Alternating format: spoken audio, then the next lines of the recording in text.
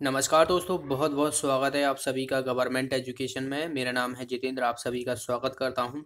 तो दोस्तों, यह वीडियो आपके लिए बहुत ही महत्वपूर्ण होने वाला है और इसमें हम सामान्य विज्ञान के top hundred most important question cover करने वाले हैं, जो व्यापम कई बार पूछ चुका है इनको।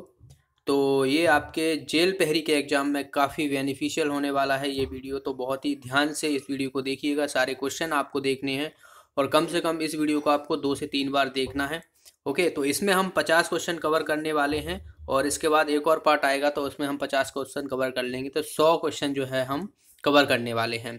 तो चलिए हम स्टार्ट करते हैं। देखिए फ़र्स्ट क्वेश्चन की तरफ़ मूव करते हैं तो पहला क्वेश्चन है कि इनमें से कौन सा केवल आभासी प्रतिबिंब बनाता है, ओके? आभासी प्रतिबिंब की बात की गई है यहाँ पर तो इसका आंसर हो जाएगा उत्तल दर्पण। उत्तल दर्पण जो है वो, जिसे हम कॉन्वेक्स मिरर कहते हैं तो यह पर्दे के पीछे छोटा, सीधा और आभासी प्रतिबिंब बनाता है। एक बार मैं आपको और बता दूँ, पर्दे के पीछे छोटा, सीधा, आभासी प्रतिबिंब बनाता है। तो इसका यूज़ हम, जैसे गाड़ी में हम यूज़ करते हैं, गाड़ी के जो पीछे की जो बाइक आ रही होती हैं, पीछे से जो गाड़ियाँ आ रही होती है तो उनको देखने के लिए हम इसका यूज़ करते हैं उत्तल दर्पण का। सोडियम परावर्तक में इसका यूज़ किया जाता है तो ये आपको याद रखना है। तो हम, बाकी हम कॉनकेव मिरर कॉनकेव मिरर के बारे में हम बात कर लेते हैं तो कॉनकेव मिरर जो है वो कैसा बनाता है? उल्टा व वास्तविक बनाता है, ओके? उल्टा व वास्तविक बनाता है, और यह हम जैसे कि हम दाढ़ी बनाने वाले कांच में यूज़ करते हैं, जो नाई रहते हैं, हेयर सैलून वाले वो यूज़ करते हैं, और सोलर कुकर में हम इसका यूज़ करते हैं, अवतल दर्पण का। डॉक्टर जो है वो इसी का यूज़ करते हैं, क्योंकि यह जो है वो कैसा उल्टा बात की जाए तो बड़ी चीज़ों को दिखाता है ये, ठीक है? तो दाढ़ी बनाना, सोलर कुकर, डॉक्टर में, डॉक्टर जो भी मेरा यूज़ करते हैं तो इन सब का जो है वो यूज़ किया जाता है। हेडलाइट हुई लाइट जो गाड़ियाँ होती हैं, उनकी हेडलाइट में हम यूज़ करते हैं अवतल दर्पण का। तो ये सभी आपको याद रखना है। नेक्स्ट है यहाँ पर वे जीव जिनके केंद्रक, जिनमें केंद्रक तथा झिल्ली परिबद्ध कोशिकाएँ अनुपस्थित होती हैं, कहलाते हैं।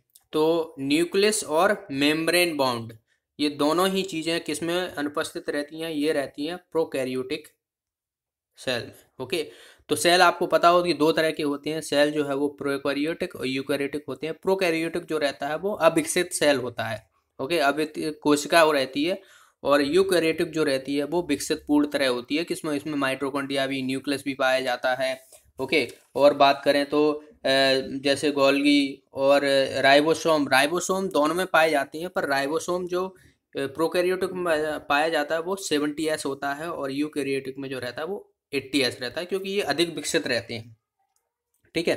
अधिक विकसित रहते हैं तो जैसे कि क्रोलोफिर पाई जाए तो ये सभी जो है वो यूकैरियोटिक में पाए जाते हैं। जो जंतु हुए, प्लांट हुए तो इन सभी में जो है वो यूकैरियोटिक सेल पाए जाते हैं और प्रोकैरियोटिक जो रहते हैं जो अविकसित रहते हैं इसमें केंद्रक नहीं होता है, प्रारंभिक कोशिका कहते हैं इसको, अविकसित कोशिका कहते हैं तो ये सभी चीज़ें आपको याद रखना है। ठीक है? तो चलिए अगला क्वेश्चन देखते हैं। अगला है, यहाँ पर देखिए क्या कहा है कि आप, आपके पीछे आपके पास दो कीले हैं। एक तीक्ष्ण छिड़े वाली है, दूसरी भौंतरे सिरे वाली है। और यदि आप दोनों पे समान बल लगाते हैं तो कील जो है वो सबसे पहले कौन सी घुसेगी? तो बहुत ही आसान सा है, आप सुई ले लीजिए। एक पतली सी सुई आती है, वो ले लीजिएगा। एक कील ले लीजिए, मोटी सी, और अपने हाथ में चुबा के देखिए समान बल से। तो ज़ाहिर सी बात है, जो पतली वाली सुई होगी तो वो जल्दी घुस जाएगी आपको। तो आप चिल्ला बैठोगे ना?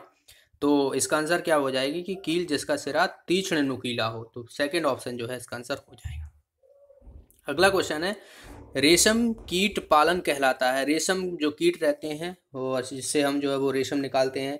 तो इसकी बात की जाए तो इसको जो है वो सेरिकल्चर कहा जाता है तो इसका आंसर हो जाएगा ए ऑप्शन, ओके? सेरिकल्चर कहा जाता है, जो कीट रहते हैं वो लार्वा के थ्रू जो है वो रेशम का निर्माण करते हैं तो याद रखना है किसके थ्रू? लार्वा के थ्रू। ठीक है, हॉर्टिकल्चर की बात करें तो ये गार्डन से संबंधित जो बागवानी होती है, एपिकल्चर जो है वो मधुमक्खी से, पालन से होती है, ओके? और पीसी कल्चर की हम बात करें तो ये मछली से, मछली पालन से होती है संबंधित तो ये आपको याद रखना नेक्स्ट है यहाँ पर सिल्क का उत्पादन किया जाता है। तो अभी जस्ट मैंने बताया था कि लार्वा द्वारा जो कीट रहते हैं वो लार्वा निकालते हैं और इससे जो है वो आ, सिल्क जो है वो उत्पादन होता है। उसके बाद जहाँ तक है कि उसे गर्म पानी में जो है वो धो देते हैं तो जो कीड़े हैं वो मर जाते हैं और सिल्क जो है वो हमें प्राप्त हो जाता है। तो ये लार्वा आपको याद रखना है तो इसका आंसर हो जाएगा ए ऑप्शन।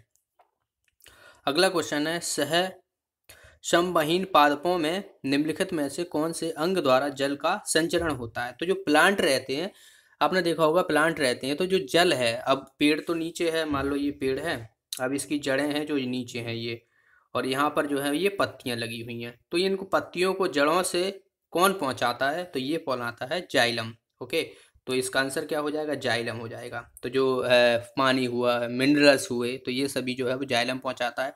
अगर आपसे फ़ूड की पूछे जाए कि फ़ूड कौन पहुँचा है तो फ्लोयम होता है। तो फ्लोयम से फ़ूड याद रखना है और जाइलम से जल याद रखना है। तो जा जा, जल, जाइलम तो ऐसे करके आपको आसानी होगी याद करने में। ठीक है? चलिए, अगला क्वेश्चन देखते हैं। नेक्स्ट है यहाँ पर, कौन सा जीव मोरस हलवा पर जीवित रहता है? तो मोरस अलवा पर जीवित रहता है तो ये रहता है जो बात की जाए तो जो रेशम के कीड़े रहते हैं, जो कीट रहते हैं, वो जो है वो मोरस अलवा पर जीवित रहते हैं। मोरस अलवा ना मिले तो आपको मेलवेरी भी मिलेगा। मेलवेरी भी मिल सकता है तो ये दोनों ही वर्ड आपको याद रखना है, दोनों ही शब्द याद रखना है। नेक्स्ट क्वेश्चन है, यहाँ पर प्रकृति प्राकृतिक रबर के संदृश्य संश्लेषित बहुलक है। तो जो प्राकृतिक रबर होती है नेचुरली होती है तो उसको सिंथेसाइज करके हम जो है वो कौन सा पॉलीमर जो है प्राप्त करते हैं? तो इसका आंसर हो जाएगा नियोप्रेन, ओके? तो नियोप्रेन होता है, आपको नेचुरल रबर की बात की जाए तो आइसोप्रेन होती है। तो ये भी आपको याद रखना है, जो नेचुरल रबर से बहुत सारे प्रोडक्ट बनाए जाते हैं, जैसे कि जो जूते के सॉल होते हैं तो वो भी कई जूते के सॉल जो रहते हैं, वो नेचुरल रबर से बने रहते हैं, न्यूप्रिन से बने रहते हैं। कॉन्डम जो हुए, वो इसी से बने रहते हैं जो नेचुरल रबर रहती है। हॉट बॉटल बॉटल्स हुई तो ये सभी जो हैं, इसी से बने होते हैं। तो याद रखना है आपको। नेक्स्ट क्वेश्चन है अगर कैक्टस। के कांटे वास्तव में विकसित हैं। तो कैक्टस एक, जो है वो प्लांट है, प्लांट मान सकते हो। तो कुछ आपने देखा होगा, कुछ इस तरीके से रेगिस्तान में आपको देखने को मिल जाएँगे कैक्टस। तो यहाँ पर देखोगे आप थोड़े थोड़े से क्या निकले रहते हैं? कांटे निकले रहते हैं। तो ये कांटे क्यों निकलते हैं? क्योंकि रेगिस्तान में आपने देखा होगा कि वो पानी जो है वो पूरी तरह से पानी उपस्थित नहीं रहता है और पानी जहाँ पर नहीं पहुँचेगा तो जो पत्ते रहते हैं वो कांटे का रूप ले लेते हैं। तो ये जो है वो पत्ते होते हैं जो कि कांटे का रूप ले लेते हैं। तो इसका आंसर क्या हो जाएगा? लीफ यानी पत्ते। तो बी ऑप्शन जो है इसका आंसर हो जाएगा। याद रखना है इन सभी को। अगला क्वेश्चन है यहाँ पर। पेरिस्कोप एक यंत्र है और जो इसका उपयोग करता है। तो यहाँ पर दर्पण दिए हुए हैं। तो पेरिस्कोप में कौन सा दर्पण यूज़ होता है, ये बताना है। तो सबसे पहले तो मैं आपको बता दूँ कि पेरिस्कोप होता क्या है। पेरिस्कोप कुछ इस तरीके से मान लो ये पाइप है। ठीक है? ये पाइप है और यहाँ पर दोनों तरफ़ आप देख सकते हो। यहाँ पर एक दर्पण लगा रहता है और एक यहाँ पर दर्पण लगा रहता है।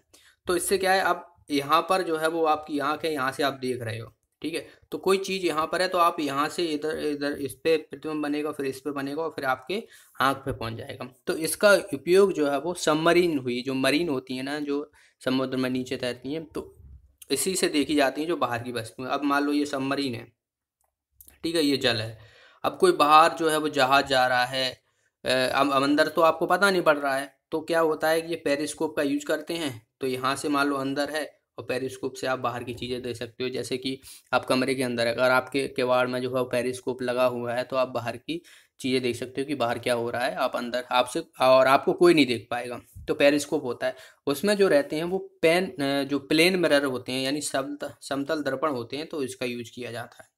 तो इसका आंसर हो जाएगा ए ऑप्शन अगला क्वेश्चन है यहाँ पर, घास के, घास में मौजूद एक विशेष प्रकार का कार्बोहाइड्रेट जिसे मानव द्वारा पचाया नहीं जा सकता है। तो मानव द्वारा जो है वो सेलुलोज नहीं बताया जा सकता है तो इसका आंसर हो जाएगा सी ऑप्शन सेलुलोज जो है मोस्टली प्लांट जो होते हैं, पौधे होते हैं, जो घास फूस होते हैं उसमें उपस्थित रहता है और जो जानवर रहते हैं उनमें पचाने की क्षमता होती है सेलुलोज को। तो जो जाए भैंस, जानवर होते हैं ना, क्योंकि वो घास फूस खाते हैं तो उनके अंदर जो है वो कैपेसिटी होती है सेलुलोज को पचाने की, मानव के अंदर ये नहीं रहती है।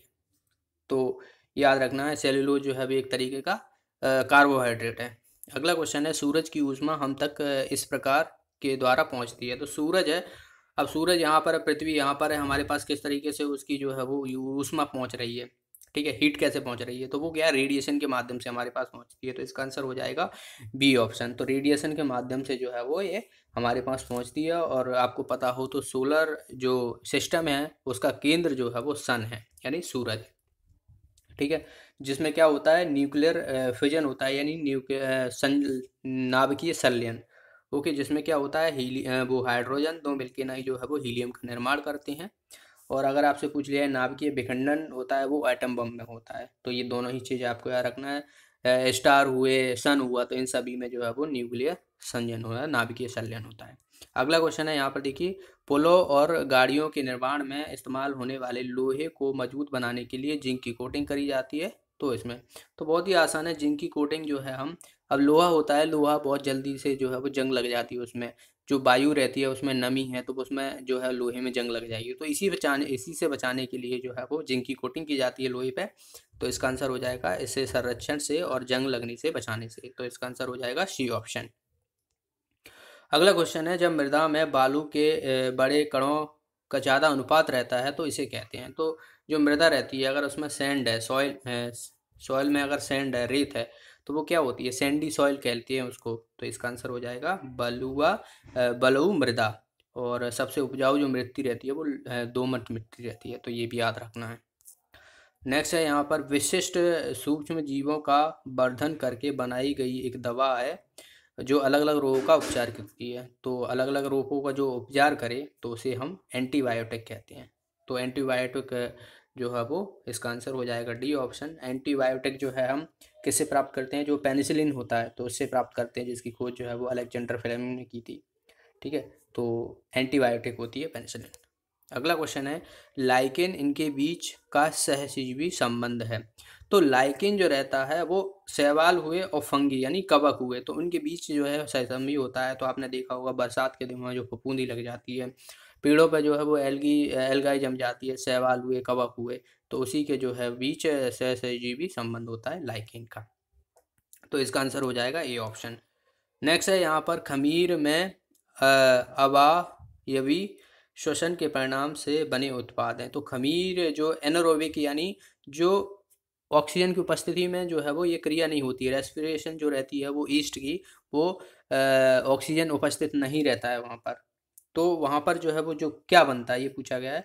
तो उसमें जो बनता है वो बात की जाए तो जो कार्बन डाइऑक्साइड हो गया और एल्कोहल हो गया तो इसका आंसर हो जाएगा कार्बन डाइऑक्साइड और एल्कोहल। तो बी ऑप्शन इसका आंसर हो जाएगा याद रखना। है आपने देखा होगा कि जो मैदा रहती है आ, मैदा जो रहती है अब जो ब्रेड हैं तो वो भी जो है वो ऑक्सीजन की अनुपस्थिति में बनाई जाती है तो वो फूल जाती है। जो मैदा हुई आप लगा के रख दोगे, बिल्कुल एकदम पन्नी से पैक करके रख दोगे तो उसकी देखना उसमें खटास आ जाता है। तो वो क्या है, वो एक ईस्ट तरह की होता है और जो कि ऑक्सीजन की उपस्थिति में नहीं रहता है। अगला क्वेश्चन है यहाँ पर, वह प्रक्रिया जिसे लोहे की रोड के गर्म सिरे से ठंडे सिरे तक ऊष्मा जो है वो अंतरण होती है। अब भाई, लोहा एक, लोहे का टुकड़ा है, ठीक है?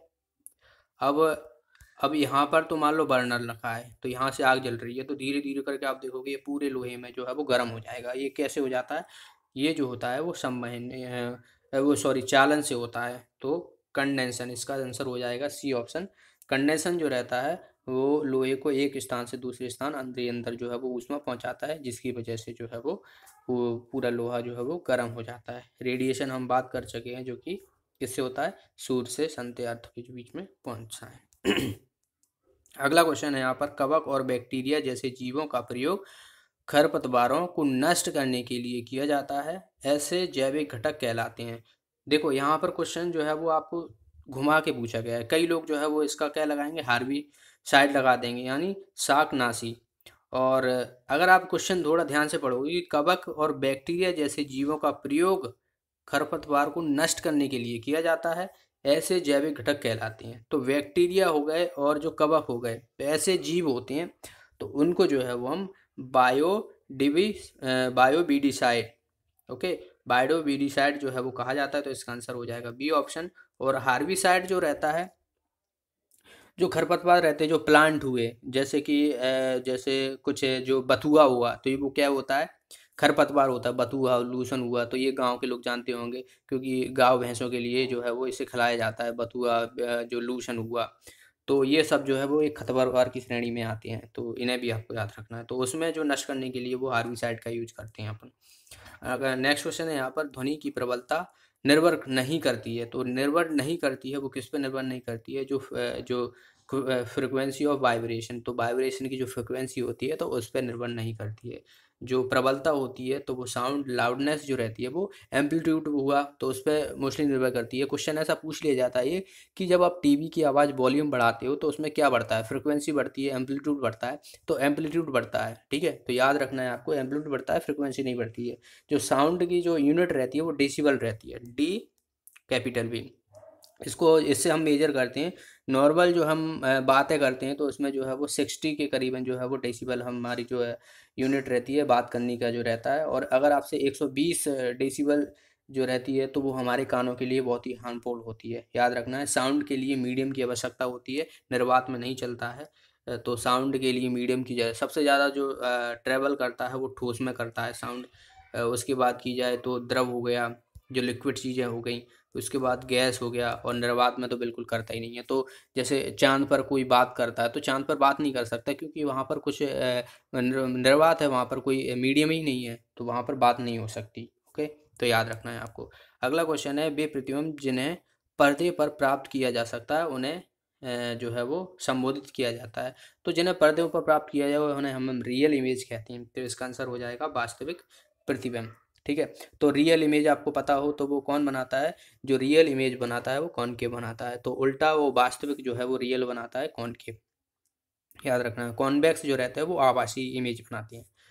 अगला क्वेश्चन है यहाँ पर कि पानी के गिलास में रखा एक चम्मच पानी के पृष्ठ पर मुड़ा हुआ दिखाई देता है, इसका कारण क्या है? तो आपने देखा होगा कि एक गिलास है, वो ठीक है, उसमें पानी भरा है तो आप चम्मच डालोगे ना उसमें तो चम्मच क्या है? जो पानी के अंदर होगा ना तो वो थोड़ा टेढ़ा देखा होगा। कुछ इस तरीके से होगा, ठीक है? टेढ़ा हुआ।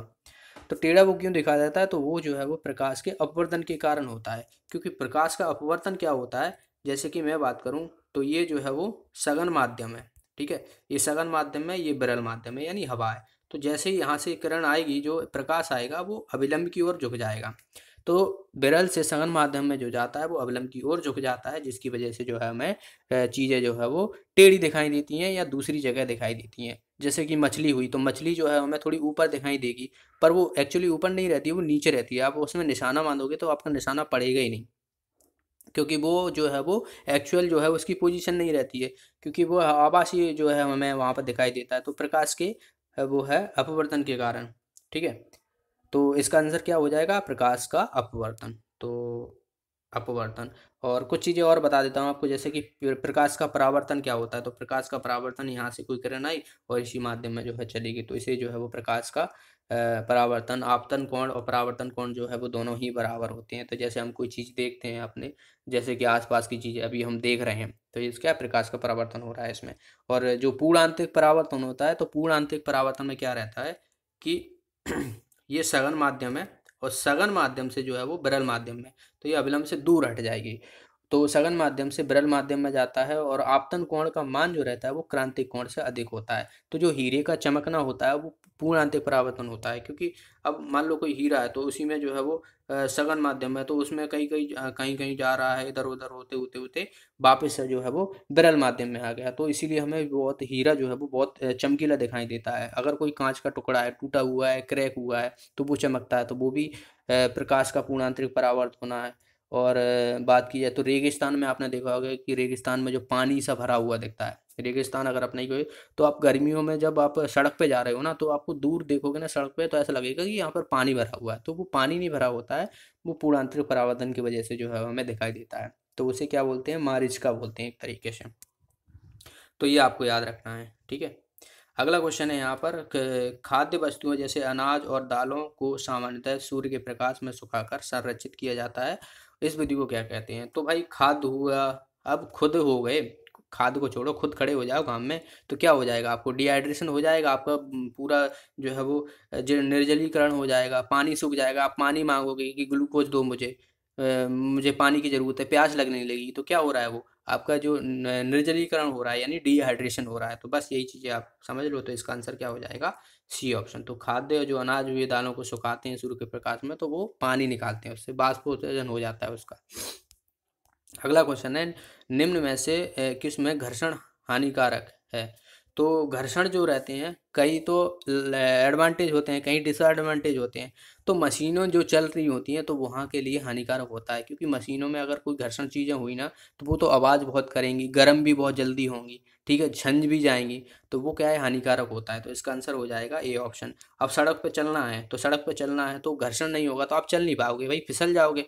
भाई, एकदम चिकनी है, तेल मेल लगा दो खूब अच्छे से, अपने पैर मैर में अच्छे से चिकना कोई पहन लो तो आप चल नहीं पाओगे, फिसल जाओगे हाल तो वहाँ क्या है? अपन को घर्षण की ज़रूरत होती है। वाहनों को चलने के लिए, रोकने के लिए घर्षण की ज़रूरत होती है। तो इसीलिए टायरों में जो है वो, आप देखोगे कि वो कट लगा देते हैं। तो टायर वो एकदम पूरा प्लेन नहीं होता है, उसमें जो है वो डिज़ाइन कड़ा रहता है, कट लगा देते हैं वो। तो इसीलिए जो है ताकि घर्षण बना रहे, ब्रेक लगा रहे हैं, चलने में आसानी हो।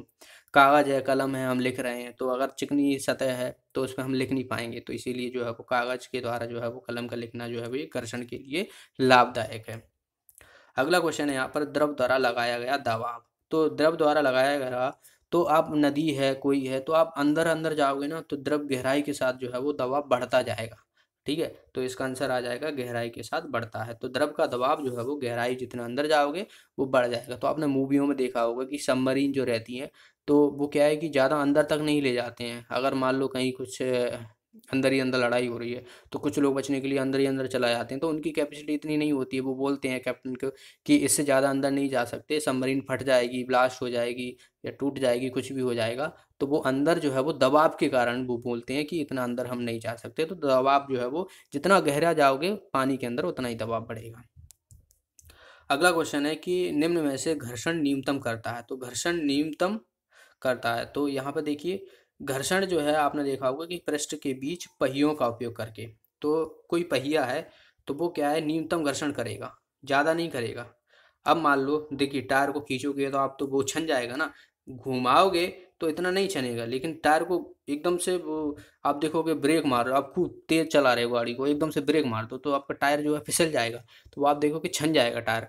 वहीं आप धीरे आराम से रोकोगे जो है, रोल करते हुए तो वो क्या है, इतना जो है वो घर्षण न्यूनतम लगेगा उसमें। जूते के तलबे में कील है तो कील है भाई, कील आप चलाओगे ज़मीन में, कील गड़ी है आपके जूते में तो आप गपना जाओगे, कहाँ से चल पाओगे आप? ठीक है? तो उसमें भी घर्षण ज़्यादा लगेगा। सरपील सड़कें व बजरी का प्रसार तो वहाँ पर भी जो है वो ये काम चीज़ नहीं करेगी। तो पृष्ठों के बीच जो पहिए का उपयोग होता है, वो न्यूनतम घर्षण करता है। तो इसका आंसर हो जाएगा ये ऑप्शन। अगला क्वेश्चन है नेत्र लेंस द्वारा रेटिना पर किस तरह का प्रतिबिंब जो है वो निर्माण होता है? तो नेत्र जो है ह्यूमन साई होती है तो इसमें जो है, वो फिजिक्स का भी कुछ चीज़ें आ जाती है बायोलॉजी की भी कुछ चीज़ें आ जाती हैं तो दोनों में जो है, वो बताया जाता है इसके बारे में। तो नेत्र जो रहता है, ठीक है? अब नेत्र में यहाँ पे पूछा क्या गया है कि नेत्र द्वारा जो है, वो रेटिना पर किस प्रकार का प्रतिबिंब बनता है? तो सबसे पहले तो आपको ये पता होना चाहिए कि जो प्रतिबिंब बनाता है, अपने रेटिना पे बनता है, ठीक है? रेटिना पर बनता है, और रेटिना पे जो बनता है, वो उल्टा बनता है और छोटा बनता है, ठीक है? तो इसका आंसर क्या हो जाएगा? इनवर्ट और हार्सित यानी बी ऑप्शन जो है इसका आंसर हो जाएगा, ठीक है? तो यहाँ पर देखिए, हिंदी में कुछ और लिखते हैं तो इनवर्ट मतलब होता है उल्टा और डिमेंशन मतलब होता है हास्रित छोटा, ठीक है? तो छोटा बनता है और आँख का जो लेंस रहता है, ठीक है? आँख का जो लेंस रहता है, आँख में अपनी में जो लेंस लगा रहता है, वो उत्तर लेंस होता है। तो ये भी याद रखना है उत्तर लेंस आपको पता हो कि वो जो है, वो छोटा वो बनाता है प्रतिबिंब बनाता है। ठीक है? तो छोटा प्रतिबिंब बनाता है तो इसको भी आपको याद रखना है। लेंस का यूज़ होता है और पर रेटिना पर जो है वो इमेज बनती है। तो लेंस अपने आप में एक काफ़ी इम्पोर्टेंट चैप्टर है। यहाँ से काफ़ी क्वेश्चन पूछ लिए जाते हैं। नेक्स्ट है देखिए अब परिष्कृत क्रूड पेट्रोलियम ऑयल जिस प्रकार का परिष्कृत किया जाता है, वह कहलाती है। तो जो क्रूड ऑयल होते हैं, पेट्रोलियम होती है तो उसको क्या है रिफाइन किया जाता है। तो वो प्रोसेस क्या कह लेती है? तो वो उसे हम जो है प्रवाजी आसवन कहा जाता है तो इसका आंसर हो जाएगा डी ऑप्शन। अगला क्वेश्चन है, बिजली संचालित करने वाले अधिकांशतः तरल इनके बिलियन है। तो जो बिल जो इलेक्ट्रिक कंडक्टर होते हैं, जो इलेक्ट्रिक जो है वो प्रवाह करते हैं तो उसमें जो है वो तरल चीज़ें होती हैं तो उसमें अम्ल, क्षार और लवण, ये तीनों ही जो है वो काम करते हैं तो इसका आंसर हो जाएगा सी ऑप्शन। अगला क्वेश्चन है यहाँ पर कि उस सुरक्षा यंत्र का नाम बताइए जो विद्युत उपकरणों को क्षतिग्रस्त होने से रोकता है व संभावित आग से बचाता है। तो आपने देखा होगा कि घरों में आप जो है वो फ्यूज यूज़ करते हो, जैसे कि भयंकर एकदम से लाइट तेज आ गई तो फ्यूज जो है वो बाहर जल जाता है। तो वही जो है वो हमारी जो सर्किट होते हैं उनको बचाता है, टीवी वी पंखा चल रहा है तो वो सब, अब फ्यूज नहीं लगा होगा ना तो आपकी सारी चीज़ें फूक जाएँगी। ठीक है ना? सब जल जाएँगी, आग भी लग सकती है, भयंकर बाहर माल जल सकते हैं। तो ये सभी जो है वो फ्यूज बचाता है। फ्यूज जो है वो टिन और लेड का बना होता है। टिन और लेड का बना होता है पीबी ठीक है? तो ये आपको याद रखना है और इसका गलनांक जो रहता है वो निम्न रहता है और प्रतिरोधक यानी रेजिस्टेंस जो रहता है वो अधिक रहता है फ्यूज के बार का। तो ये भी क्वेश्चन पूछ लिया जाता है और जो फ्यूज हम यूज़ करते हैं तो जो घरों में लगा रहता है, वो सीरीज़ माध्यम में पैरेलल में नहीं लगा रहता है सीरीज़ में लगा रहता है। क्वेश्चन पूछ लिया जाता है कि फ्यूज जो है हम घरों में यूज़ करते हैं तो वो पैरेलल में लगा रहता है या सीरीज़ में लगा रहता है? तो सीरीज़ में लगा रहता है, याद रखना है आपको।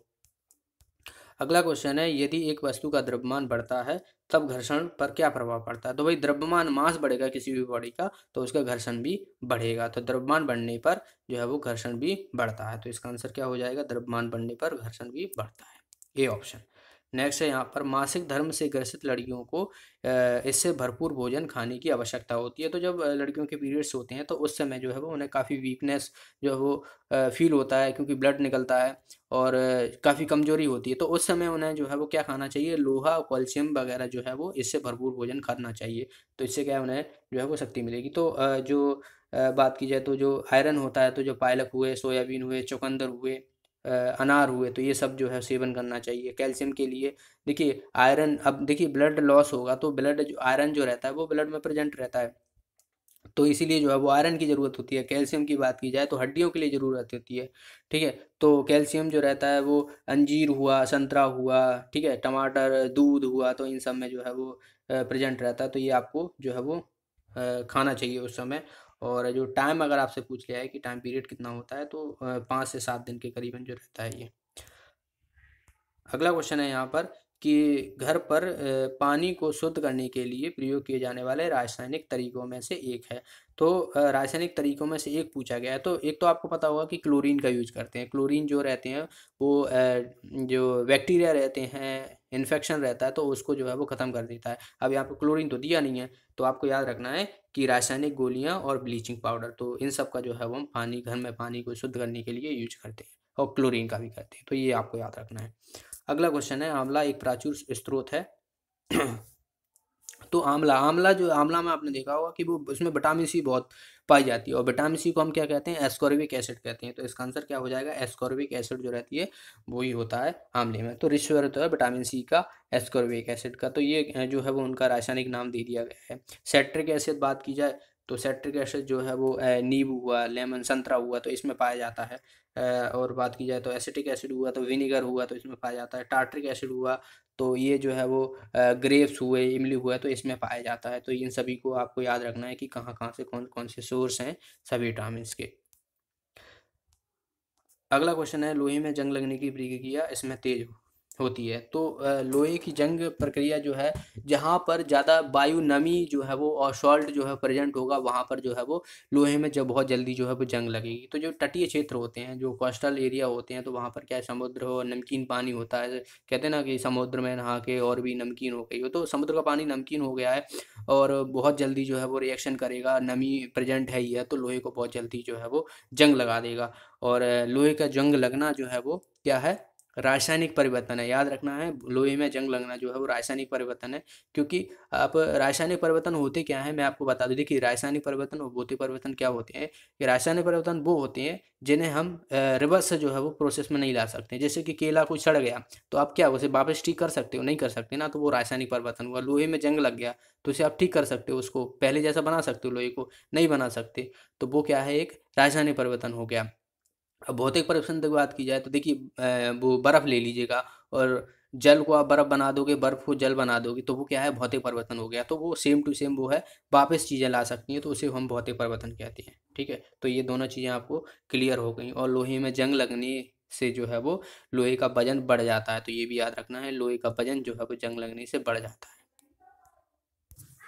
चलिए अगला क्वेश्चन देखते हैं, यहाँ पर देखिए क्या कहा गया है कि पानी का विसंक्रमण रोकने के लिए अधातु इस्तेमाल होती है। तो अभी मैंने जस्ट बताया कि अधातु जो है वो क्लोरीन है, इसका आंसर हो जाएगा क्लोरीन का हम यूज़ करते हैं। ब्रोमीन भी अधातु है। ब्रोमीन जो है वो कमरे के तापमान पर बहुत तरल अवस्था में होती है। क्वेश्चन पूछ लिया जाता है कि ऐसी कौन सी अधातु है जो रूम टेम्परेचर भी तरल अवस्था में रहती है? तो वो कौन है? ब्रोमीन है। तो याद रखना है आपको। और बाकी पानी के लिए जो है वो क्लोरीन यूज़ करते हैं, जो जो वाटर पार्क होते हैं ठीक है, स्विमिंग पूल होते हैं तो उसमें जो है वो क्लोरीन से एकदम साफ़ पानी हो जाता है, ठीक है।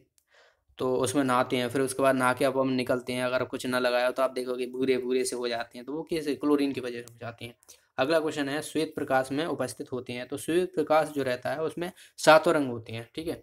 तो आप सातों रंग कैसे पता पड़ता है तो वो प्रिज्म के माध्यम से पड़ता होता है, प्रिज्म है ये तो यहाँ से आप कोई भी व्हाइट लाइट जो है वो तो प्रिज्म के माध्यम से जो है वो सात जो है वो यहाँ से रंग निकले जाएँगे। ठीक है? सात रंग कौन कौन से होते हैं? VIBGYOR violet indigo blue, green, yellow, orange और रेड।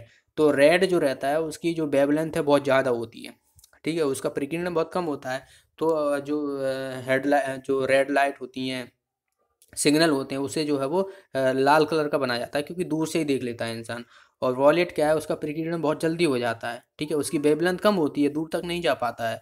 तो एक चीज़ आपको और क्वेश्चन बताता हूँ कि जैसे कि सूर्य है तो सूर्य जो है वो सुबह और शाम के टाइम लाल क्यों दिखाई देता है? क्योंकि देखिए, ये अर्थ है हमारी और ये सन है, ठीक है? अब सन है, सुबह हुई तो सुबह यहाँ से निकला, फिर दोपहर हो गई तो दोपहर में और ये सुबह शाम के तो इनकी दूरी जो है वो ज़्यादा होती है और और जो दोपहर आता है उसकी दूरी कम हो जाती है। तो अब दूरी ज़्यादा है यहाँ पर, देखिए दूरी ज़्यादा है तो ज़ाहिर सी बात है कि जो बाकी के जो बॉयलेट हुए इंडिको हुए ब्लू हुए तो ये करण का है प्रकीर्ण हो जाएँगे। ठीक है, बचेगा कौन सा? रेड तो रेड धीरे धीरे पहुँचता पहुँचता पहुँचता अपने पास पहुंचेगा। तो इसीलिए हमें जो है यहाँ पर लाल ही दिखाई देगा। इसी तरीके से शाम को भी हमें लाल दिखाई देगा। अब भाई ऊपर है तो यहाँ की डिस्टेंस जो है वो कम है। तो डिस्टेंस कम है तो धीरे धीरे करके वॉयलेट भी आएगा ग्रीन भी आएगा ब्लू आएगा। तो सब मिक्स होके ना एकदम हमें सफ़ेद दिखाई देने लगता है वो। तो ये चीज़ें हैं, आपको याद रखना है कि आकाश का जो लाल जो आकाश में जो हमें शाम के टाइम और सुबह के टाइम जो है वो, सूरज जो है वो किरण के कारण जो है वो दिखाई देता है रेड अगला क्वेश्चन है कि मानसून पवन तब चलती है जब? तो पवन जो है वो एक चीज़ याद रखना है कि जो पवन जो रहती है वो हाई प्रेशर से लो प्रेशर की ओर चलती हैं। अब बात की जाए तो हाई प्रेशर हाई प्रेशर कब रहता है? जहाँ पर जो ठंडा स्थान है, जैसे बात की जाए तो सर्दियों में जो प्रेशर रहेगा एयर का वो ज़्यादा रहेगा और गर्मियों में कम रहेगा क्योंकि वो हीट हीट से आपने देखा होगा कि हीट से जो है वो बहुत तेज़ चीज़ें चलने लगती हैं, कण बहुत तेज़ चलने लगेंगे। तो क्या है? हाई प्रेशर से लो प्रेशर की ओर जो है वो यानी गर्मी जो है वो पवने जो है वो किस तरीके से गर्मी में पवन भूमि से महासागर की ओर या गर्मी में पवन महासागर से भूमि की ओर? तो इसका आंसर हो जाएगा ये ऑप्शन तो महासागर से जो है वो भूमि की ओर चलेंगी, क्योंकि महासागर जो है ठंडा रहेगा। अब गर्मी का टाइम है तो भूमि गर्म रहेगी। तो इसीलिए जो है वो इस तरफ़ चलेंगी। याद रखना। अगला क्वेश्चन है यहाँ पर। कि एक माचिस की तीली को ग्लास पाउडर और बहुत छोटी, थोड़ी मात्रा में लाल फॉरसफोर लगे डिब्बे पर जो है वो रगड़ा जाता है तो उस दौरान पहली अभिक्रिया होगी। तो आपने देखा होगा कि माचिस का डिब्बा है आप माचिस है, माचिस को आप जला रहे हो यहाँ पर ठीक है? ये, यहाँ पर रेड फॉरस लगा रहता है और तीलियों में भी जो है वो रेड फॉरस रहता है। तो जैसे आप जलाओगे ना तो सफ़ेद सफ़ेद हो जाता है वो। तो सफ़ेद सफ़ेद क्यों हो जाता है? वो सफ़ेद जो है वो फोरस में जो है वो बदल जाता है। तो लाल फॉरस जो है वो सफ़ेद फोरस में बदल जाता है। तो इसका आंसर क्या हो जाएगा? ए ऑप्शन याद रखना है, ठीक है? चलिए अगला क्वेश्चन देखते हैं। अगला है यहाँ पर विंडो क्लीनर में मौजूद रसायन चलिए तो जो विंडो क्लीनर जो रहते हैं तो उसमें हम जो है वो किसका यूज़ करते हैं? तो अमोनिया का यूज़ किया जाता है। तो अमोनिया, देखिए, अमोनिया हाइड्रोक्साइड दिया हुआ है यहाँ पर। अगर आपको अमोनिया दिया हो तो वो आपको लगाना है। अमोनिया हाइड्रोक्साइड दिया हुआ तो ये भी लगाना है। तो इसका आंसर क्या हो जाएगा? सी ऑप्शन तो इसका यूज़ किया जाता है। तो ये क्या रहता है? एक बेस रहता है, यानी छार रहता है ये। तो अगर आपसे पूछ लिया जाए कि अमोनियम हाइड्रोक्साइड बेस रहता है या छार रहता है तो छार रहता है ये।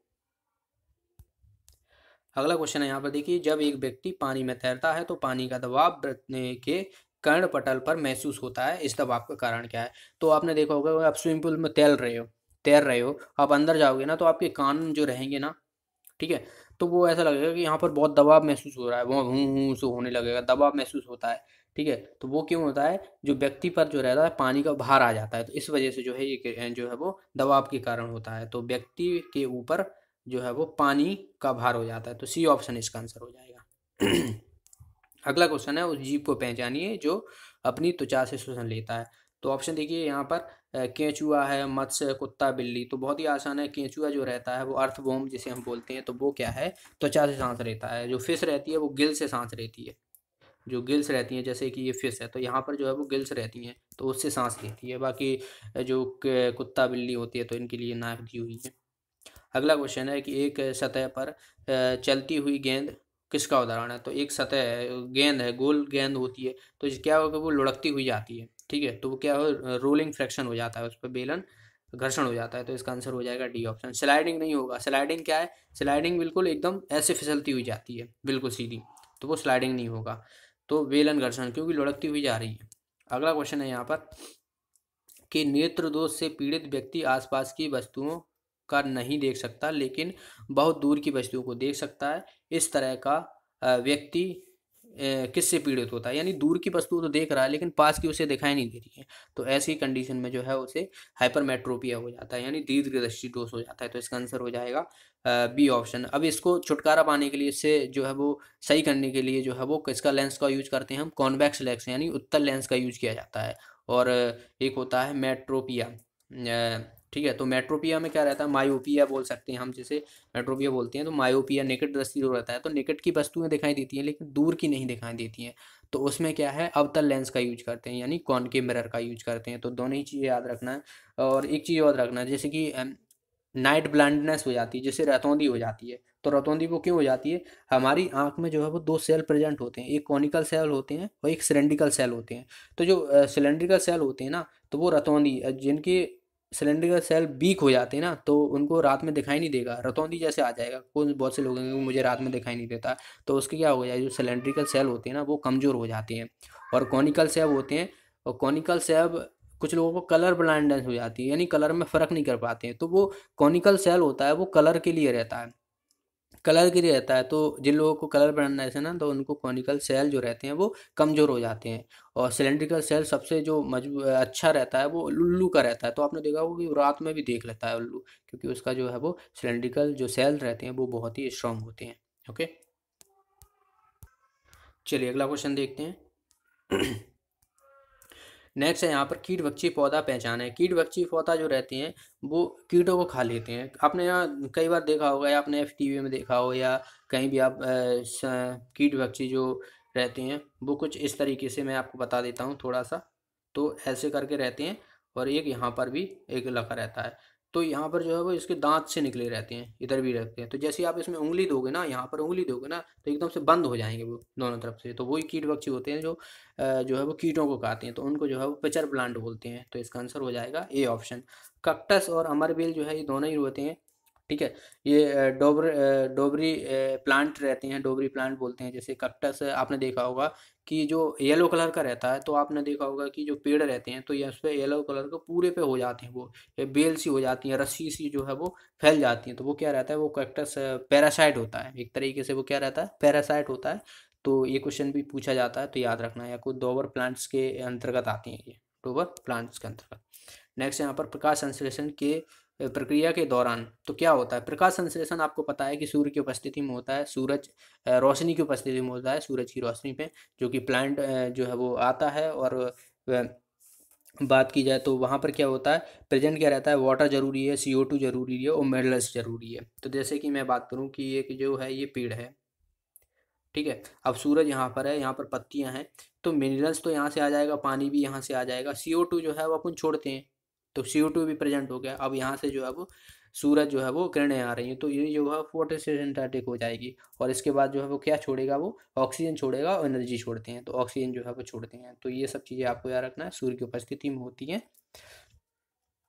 पर ये कौन सी क्रिया होती है? ये जो है वो रासायनिक क्रिया होती है, यानी सौर ऊर्जा को रासायनिक ऊर्जा में परिवर्तित करना होता है तो इसका आंसर हो जाएगा बी ऑप्शन नेक्स्ट है यहाँ पर ग्रोथ हार्मोन जो रहता है वो कौन प्रोड्यूसर होता है किसमें प्रोड्यूस उत्पादित होता है तो ग्रोथ हार्मोन जो रहता है वो पिट्यूटरी ग्लैंड में होता है तो इसका आंसर हो जाएगा ए ऑप्शन पिट्यूटरी ग्लैंड जो रहता है वो एंडोक्राइन ग्लैंड होता है, ठीक है? एंडोक्राइन ग्लैंड रहता है, आपको याद रखना है एंडोक्राइन ग्लैंड रहता है, जिसे हम मास्टर ग्रंथि भी बोलते हैं, पीयूष ग्रंथि को, पर मास्टर ग्रंथि क्यों बोलते हैं? क्योंकि ये बाकी चीज़ों को कंट्रोल करता है, ठीक है? बाकी जितने भी रहते हैं, लेकिन इसको भी प्यूटरी ग्लैंड को भी एक चीज़ कंट्रोल करती है, जिसे हम हाइपोथैलेमस बोलते हैं। तो अगर आपसे पूछ लिया जाए कि पिट्यूटरी ग्लैंड को कौन कंट्रोल करता है तो हाइपोथैलेमस करता है। हाइपोथैलेमस जो है वो टेम्परेचर को कंट्रोल करने में यूज़ करते हैं। तो ये भी इंडोक्राइन ग्लैंड होता है। इंडोक्राइन और एक्जोक्राइन दो तरह के जो है ग्लैंड होते हैं अंतरस्रावी और बाहस्रावी। तो जो इंडोक्राइन यानी अंतरस्रावी ग्लैंड होते हैं, वो क्या जो है वो हार्मोन रिलीज़ करते हैं।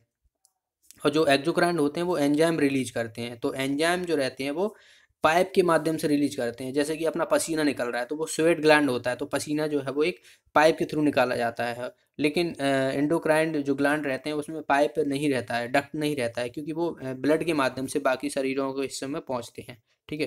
तो याद रखना है, जो इंडोक्राइन ग्लैंड रहते हैं adrenal gland pineal gland testis gland तो ये सभी जो है, वो इंडोक्राइन ग्लैंड हुआ। और एक्जोक्राइन जो है वो स्वेट ग्लैंड हुआ लेक्रमल ग्लैंड हुआ लेक्रमल हमारे आँख में पाया जाता है, जो हमारे आँसू को निकालता है, ठीक है? और एक होता है पेनक्रियाज पेनक्रियाज देखिए पेनक्रियाज क्या होता है? पेनक्रियाज जो रहता है वो दोनों वो दोनों है पीनियल वो इंडोक्राइंड भी है एक्जोक्राइन भी है, क्योंकि ये हार्मोन भी रिलीज़ करता है और एंजाइम भी रिलीज़ करता है तो ये पेनक्रियाज जो है वो ग्लैंड होता है, जो दोनों रिलीज़ करता है।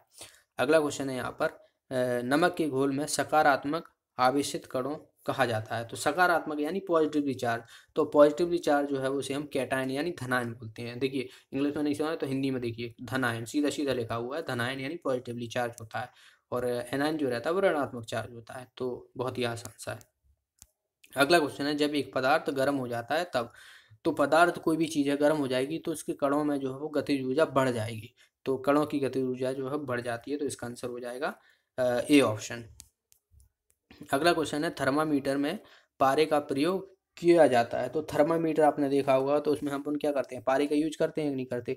पारे का यूज़ जो है वो, क्योंकि जो आपने देखा होगा, धातु, पारा जो है वो एक धातु है, और धातु जो है वो उष्मा के अच्छी सुचालक होती हैं, ठीक है?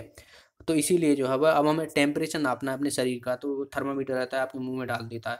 तो उसमें क्या है, अब जो है वो आपका टेम्परेचर पड़ा पड़ जाएगा, क्योंकि पारा जो है वो उष्मा की अच्छी सुचालक होती है तो उष्मा के अच्छे सुचालक होते हैं धातुएँ पारा जो है वो तरल अवस्था में पाया जाता है। आपसे क्वेश्चन पूछा जाएगा कि ऐसी कौन सी धातु है जो रूम टेम्परेचर पे तरल अवस्था में रहती है तो जो पारा रहती है तो जी से हम प्रेरित करते हैं मरकरी जैसे ठीक है? तो याद रखना है, और जो अधातु जो रहती है, वो ब्रोमीन रहती है तो इसके बारे में भी आपको बता चुका हूँ। ब्रोमीन जो रहती है, मनुष्य का जो टेम्परेचर रहता है normal seventy thirty seven degree रहता है। थर्टी सेवन डिग्री सेल्सियस रहता है। तो इसे भी आपको याद रखना है, ओके? तो ये थे पचास क्वेश्चन आज के इस वीडियो में। आई होप आपको बहुत ही शानदार वीडियो लगा होगा। और वीडियो अच्छा लगा तो वीडियो को लाइक और कमेंट ज़रूर कीजिएगा। और अपने फ्रेंडों के साथ ज़रूर शेयर कीजिएगा। इसका नेक्स्ट पार्ट और आएगा। तो जल्दी ही वो भी हम नेक्स्ट पार्ट जो है वो जल्दी लाने की कोशिश करेंगे। और जो भी साथी नए हैं, चैनल को सब्सक्राइब कर लें और बेल आइकन पर ज़रूर प्रेस करें, जिसके माध्यम से आपको वीडियो का नोटिफिकेशन मिल जाएगा। और अगर आप कुछ पूछना चाहते हो तो कमेंट बॉक्स में ज़रूर पूछिएगा। और ये वीडियो कम से कम आपको दो बार तो देखना ही है। इससे आपके बहुत सारी चीज़ें जो है वो कम, जो है वो क्लियर होंगी। अगर आपको एक बार में सारी चीज़ें कवर हो जाती हैं, याद हो जाती है तो बहुत ही बढ़िया है। वरना मेरे हिसाब से तो कम से कम दो बार आप ज़रूर देखिएगा। ये आपके लिए ही एडवांटेज है, आपके एग्ज़ाम के लिए है। तो ज़रूर देखिएगा। तो मिलते हैं अगली वीडियो में। Thanks for watching the video. Have a nice day.